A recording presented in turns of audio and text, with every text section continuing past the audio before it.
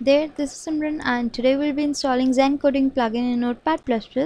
As you can see I have Notepad++ window open on my laptop and I do not have the plugin installed already.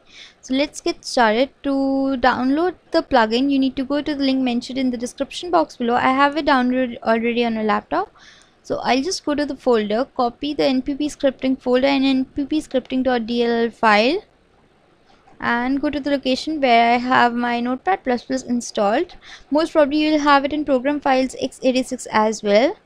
I'll go to the plugins folder and then paste these files here. You need to have the administrative permissions to paste the files here. Continue. And I have these files here in the folder now. And now let's try to reopen it. And there I have it so to give you just of what code Zencoding plugin is all about, I hated writing HTML structure over and over again. So this is what came to the rescue. Magic, right? So all that I really needed to do was HTML5 and control E. There you go.